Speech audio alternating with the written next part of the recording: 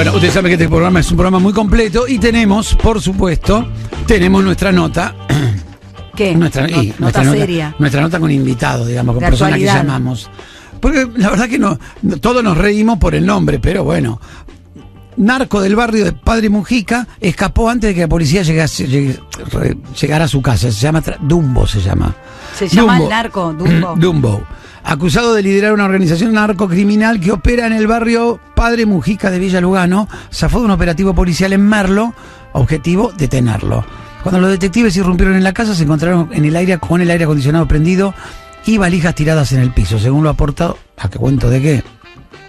Dos individuos que serían socios de Dumbo, conocidos como Bruno y Puñete, Uy, los apodos. fueron detenidos en una serie de operativos hechos. Luego de los reclamos de los vecinos, se realizaron 11 allanamientos. Estamos con Gerardo, Gerard- Gerardo Manesar eh, Galiquia, ex jefe de la policía, ex, perdón, ex jefe de la comisaría cuarta de Lugano. Gerardo, ¿qué tal? ¿Cómo te va? Petinato aquí, genio idiota, Tamara. Muy buenas tardes, Roberto. ¿Cómo te va? Hola. Buenas. Eh, me llamó la atención, bueno, eh, ¿cómo fue el tema con Dumbo y qué, por qué encuentran el aire acondicionado prendido y valijas tiradas en el piso? No, eso pensaba, lo mismo que, de- que mencionaba usted recién, que para a cuento de qué, eh, a, cu- a cuento de qué sumar eso, el, aire acondicionado será porque él tenía calor, el muchacho. Sí, la verdad que no Eh, entiendo Es irrelevante para la, para la, para la causa, ¿no? para la causa y para la investigación completa. Eh, Pero sí conozco a Dumbo, al, al este tal- se- señor tal llamado Dumbo, también a, a Bruno, también a, a este Puñete. Es una banda que opera hace bastantes años en el, en el barrio. Yo Ah. mismo eh, los he combatido más de una vez. Eh, yo ahora estoy ya... ¿Los pudo agarrar alguna vez? O sea, retirado, ya sí. estoy, por suerte, porque la verdad el panorama, sobre todo en Lugano, es bastante peligroso y, y uno y los los compañeros se, se arriesgan su vida constantemente. ¿Alguna vez usted tuvo oportunidad de, de atrapar a alguno de ellos o, o algún enfrentamiento real? Eh, tuvimos muchos arrestos, sí, en la- muchos arrestos, pero de distintas bandas también es eso, se pasan, eh, sinceramente, mire, parece un chiste lo que le voy a decir, Sí. eh, Betinato, pero parece a veces le parecen gobiernos porque se pasan se pasan el bastón las bandas narcos y a veces maneja uno y a veces maneja Ah, el otro y eh, es muy difícil entonces para las investigaciones eh, poder con- se- ser ser constante porque uno viene persiguiendo a un capo narco hace años y de pronto uno se viene a enterar que ese ese tipo ya o bien o lo mató otra facción de su propia barra Claro, o lo mató sí, otra barra sí, no o, está- lo- o no se fue se fue del país hace años y, y- y uno viene buscándolo persiguiendo es eso es lo que genera también mucha frustración en los investigadores Ay, se emociona. Sí. Ahora, em, en este caso, Dumbo, que cuando entraron tenía valijas en el piso, tiradas en el piso. ¿Sospechan que se estaba, eso por- es claro que se estaba dando la fuga sin duda se estaba preparando las valijas? O sea, ¿ya tenía ropa dentro? Eh, no, no, sinceramente no estoy en la investigación. Yo le puedo hablar de la, de la banda de Dumbo y de, pero supongo que tenían ropa la- las valijas. Ah, ¿Le pregunta a alguien? A ustedes le pregunto. es que no dice, dice valijas tiradas en el piso, por eso digo, no sé si Ah, no, con no, ropa porque- como que se estaba por fugar. sí, sí. En con ropa general, de, de verano, si se iba a otro país, tal vez donde es verano. eh, eso es eso es un buen dato. Bueno, sería eh, talentosa como como detective. Eh, bueno, pero es una porque pregunta muy obvia. No, ¿Por qué pero es verdad, si tiene ropa de verano se va a un lugar eh, de veraneo, o si tiene ropa de invierno, pero también a veces nos pasa que no- lo hacen para distraer, nos preparan una valija con ropa de nieve para que lo busques en la nieve y en realidad está en la costa. No, no es gracioso, No, nos pero- ha pasado numerosas veces. Pero, Pero ¿cómo ¿por qué? Pero porque sí. Me acuerdo una vez que se escapó un capo narco que se llamaba eh, Be- Bebedo. ¿Cómo? Bebedo. Bébedo. Bebedo. Sí, Ah, el Bebedo, Bebedo. Los dos, los dos caponarcos colombianos más buscados de Argentina, Bebedo y Baby Doll, y dejaron escrito en la pared, dejaron escrito, nos fuimos a Brasil. Entonces nosotros dijimos, sigamos la pista. Sí. Y fuimos directo a hablar con las autoridades brasileras y los buscamos siempre por Brasil y, y los encontramos 14 años más tarde a la vuelta de ese domicilio. Entonces, Ahora, pero- sí, ellos pueden ser muy, muy, pero muy inteligentes, y muy elocuentes y suspicaces. Pero Gerardo, pusieron estamos en Brasil y estaban en Brasil, efectivamente. No, estaban a la vuelta de donde, de donde dejaron escrito nos fuimos a Brasil. Ah, pensé que No, no, cagaron. no. pensé que la recagaron. en Brasil de la dirección donde dieron. No, no, no, justamente para distraer A a la la vuelta de policía. Distraen a la policía haciéndole eso. Claro. Le ponen una dirección con- falsa anotada en la pared y la policía obviamente piensa Claro, y con, con las valijas lo mismo. O sea, si vos ves una valija Otra con vez que se escapó Chupete con Chicle, uno que era muy peligroso, muy violento, Chupete con Chicle, dejó, con- se llevó toda la ropa del placar y abajo de la cama encontramos un guante de nieve. y Entonces dijimos, Se fue a la nieve. yo no soy ningún gil, está en la nieve. Y lo fuimos directo a buscar a, a locaciones con nieve y lo encontramos 21 años más tarde en Brasil. Ay, no.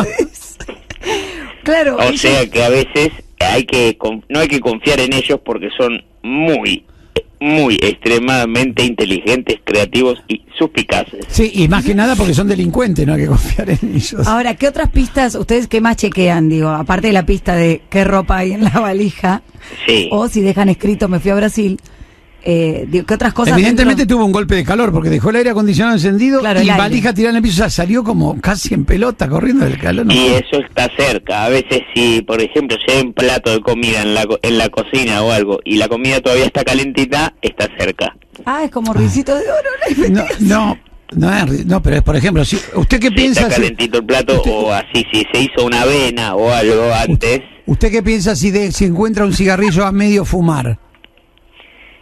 Eh, que, el, que el homicida o el delincuente es fumador. No, Ah, bueno, que está bien. cerca, porque si todavía está medio fumar, está con el humito, todo. Ah, que- está prendido. Ah, claro, no lo había pensado, sí. Tiene razón, sería muy talentoso como, como detective. Ah, muchas gracias. Pero los detectives En este caso le dicen Dumbo porque él estaba con sus amigos, que son tres cuervos, que le dieron una pluma y el gordo se echó a volar. Ese es el... ¿Por eso le dicen Dumbo? Claro, exactamente. Ah. hay otras fuentes que aseguran que se escapó en moto. Ahora, los Ah, detectives mirá. igual sabían, digo, casi lo agarran, estaban cerca. Estábamos, estaban muy cerca, sí, la verdad que sí. Y También se estaba. escaparon varios de la misma banda. El Ah, Bambi mira. se nos escapó hace tres meses, que le dicen Bambi porque Mm. tiene las patas flaquitas y porque le mataron a la vieja apenas nació.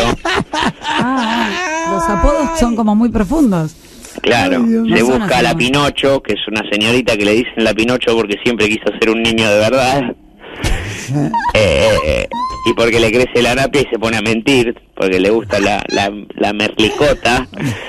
Eh, la Bella Durmiente, La que es un gordo de 150 kilos que mueve todos los opiáceos del país. Es, la que, la- Ah, mierda. es un gordo que mueve toda la pastela para dormir, ¿viste? Ah, la que compran seguro- los chetos. Seguro lo conocemos. Y la Bella Durmiente le dicen, seguro que ustedes le han consumido la mitad del presupuesto, la, la facultad del hijo la pagaron ustedes los petinatos. La Somit limpio viven. Eh, se estima por lógica, por descarte y lógica, que un hombre peligrosísimo llamado Miguel, eh, que es muy rata, muy muy rata con la plata, por eso le dicen el ratón Mickey, es el líder total de esta banda. Es el líder total. Eh, Claro. Y más de una vez esta banda, por eso ahora estamos buscando con Interpol en los, pa- en los parques de Disney. Ah, mira. Porque más de una vez esta banda, eh, la banda de Mickey, se esconden en trajes de los parques de Mickey. ¿Entiendes? Ah, ellos van a Disney. Interpol atrapó el año pasado a Aladino, uno que era un, un ladrón de, de Arabia, Sí. que era parte de esta banda, lo encontraron en el disfraz de Pluto, en Disney, Ah, haci- haciendo malabares. Ah, no hizo la de disfrazarse de Aladdin. Porque claro, nadie se fija nunca que si adentro de los disfraces hay delincuentes, ¿no es cierto? Y sabe No. usted que hay un índice muy alto, un estudio de Interpol, que el 91% de la gente que tiene alguna máscara de algún disfraz de Disney es en realidad un delincuente. Dale, ¿Ese estudio? Ahora, cu- ¿cualquier máscara en cualquier lugar o solo en Disney? En acá- todos lados. El tren de la alegría ni te cuento, son todos chorros. Si te falta el celu en el tren de la alegría, desconfía de Donald. O de, o de, o de, de Pluto. A esta banda también corresponden los famosos Ariel y Sebastián del cártel de la Sirenita que trafican la droga en animales marinos, que hace unos meses cayó Tritón porque se le, se le explotó una cápsula en el estómago a una foca. Tritón. ¿qué es Y los siete, los siete enanitos, por supuesto, controlan los bosques moviendo la blanca nieve. No, bueno. Ah, ah, ah. Está todo pensado. Eso no, claro, eso no- Es una, es una banda sentido. Es una muy, pero muy fanática de Disney. Muy fanático. Bueno, esto no sé, Puñete y Bruno, no sé si son personajes de... No, no son. una cosa que Y de hecho no pudimos desarrollar ningún chiste con sus nombres. Pero sí le digo que la banda de Alicia, Sí. no sé si la conoce Alicia, de Alicia el País de las Maravillas, controla todos los alucinógenos. Por eso la película es altamente peposa. Ah, eh, es verdad que es medio, bueno... No Gerardo, eh, Gerardo, le quería preguntar algo. Cuando los, eh, cuando los chorros, por así decirlo, cambian de coche, Sí. eh, que siempre es algo que me llamó la atención, ¿cómo hacen para seguir al segundo, co- al, al coche del que cambiaron, al que cambiaron? No, ahí en general los perdemos. Ya cuando cambió de coche es imposible. Nos perdemos. ¿Cómo es Es un tema, imposible? ¿eh? Cambió de coche. Pero lo hacen siempre, o sea, Y si, o si no, hacen la de que se van en un auto negro y los espera, los seguimos con el helicóptero, pero los esperan varios autos negros y cuando pasan por abajo de un puente en la Panamericana salen cuatro autos negros a la vez y se mezclan y listo. ¿Cómo sabes cuál es el, del delincuente? Imposible. Ah, esa es esa es chapó. La verdad, ahí yo digo, chapó, me saco el sombrero. No, no, no te saques Ay, el Dios sombrero, que- no los tienen que atrapar Y sí, claro. Y entonces ahí se dan media vuelta y se van. Atraparlos es mi, eh, atraparlos es mi, ¿Tu es mi misión y entrenarlos mi ideal. ¿Entrenarlos? Entrenarse es ideal. ¿Qué? Ay, del del Pokémon. Muy bien. Atraparlos es mi misión, entrenarlos mi ideal. ¿qué pasa? Pokémon, tengo que atraparlos. Es más de tu Bueno, generación, sí. Pokémon, disculpa. Se ve que Gerardo es un ex jefe de la Claro, comisaría ya mundial. Gerardo, Gerardo, le quería preguntar, Cuando se estrenó la tele a color ya estabas con un pibe en brazos. eh, le que- quería preguntarle por Dumbo, finalmente, Dumbo, ¿en dónde está en este momento? ¿Saben algo? ¿Tiene alguna idea? Eh, Sospechamos Sí. que Dumbo está en la provincia de Córdoba Ah, Ah, ¿por qué? grande. porque arriba de la mesa había un pasaje a Córdoba. Y pero no lo Ah. usó si estaba arriba de la mesa. Ah, es verdad. Ay, Claro, no, el pasaje estaba arriba de la mesa, qué boludo. Mandamos toda la seguridad. Mandaron, Ay. mandaron todos en el Urquiza. Re- revisaron todos los Urquiza. piba, eh. Necesitamos alguien como vos, piba, porque No, y pero... tenés la- una mente ahí del futuro. Ay, Ahí del futuro. ¿Mandaron a, a chequear todo Córdoba? Todo Córdoba con allanamiento para buscar a, a Dumbo. Claro, no, y el pasaje no estaba en la mesa. Igual tampoco es difícil de encontrar un elefante volador, es lo que yo decía. No, pero, pero- pero no, pero no es un elefante volador, es un apodo. Ah, Ah, no, eh, Que es una, un tipo. Es, es claro. Ah, Y, si, si no, ¿cómo prende el aire acondicionado? ah, la puta Em, madre. le Tenemos agradecemos- gente como ustedes en la fuerza, ¿eh? Porque... Hable con Bernie, hable con Bernie y vamos. Le agradecemos a Gerardo Manesar Galiquia, ex, ex jefe de la comisaría cuarta de Lugano, que nos trajo luz sobre este tema. Muy bien. Muchas gracias, Gerardo. ¿eh? No, gracias a vos.